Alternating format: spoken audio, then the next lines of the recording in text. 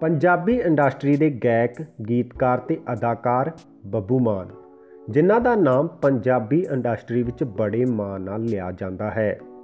ਹਾਂਜੀ ਦੋਸਤੋ, ਅਸੀਂ ਬੱਬੂ ਮਾਨ ਦੇ ਫੈਨਸ ਲਈ ਵੱਡੀ ਖੁਸ਼ਖਬਰੀ ਲੈ ਕੇ ਆਏ ਹਾਂ।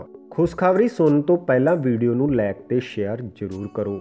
ਨਾਲ ਹੀ ਜੇਕਰ ਤੁਸੀਂ ਸਾਡਾ ਚੈਨਲ ਸਬਸਕ੍ਰਾਈਬ ਨਹੀਂ ਕੀਤਾ, ਤਾਂ ਹੁਣੇ ਸਾਡੇ ਚੈਨਲ ਨੂੰ ਸਬਸਕ੍ਰਾਈਬ ਕਰੋ। ਹਾਂਜੀ ਦੋਸਤੋ, ਜਗਦੇਵ ਮਾਨ ਹੁਣ ਫਿਲਮ ਬਣਾਉਣ ਜਾ ਰਹੇ ਹਨ।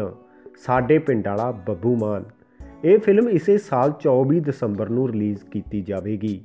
ਫਿਲਮ ਦੇ ਡਾਇਲਾਗ ਜਗਦੇਵ ਮਾਨ ਅਤੇ ਦੀਪ ਜਗਦੀਪ ਵੱਲੋਂ ਲਿਖੇ ਗਏ ਹਨ।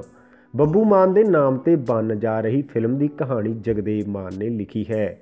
ਫਿਲਮ ਦੀ ਸਟੋਰੀ ਕਿਸ ਤਰ੍ਹਾਂ ਦੀ ਹੋਵੇਗੀ, ਇਹ ਤਾਂ ਆਉਣ ਵਾਲਾ ਸਮਾਂ ਹੀ ਦੱਸੇਗਾ। Bureau report, Punjab network.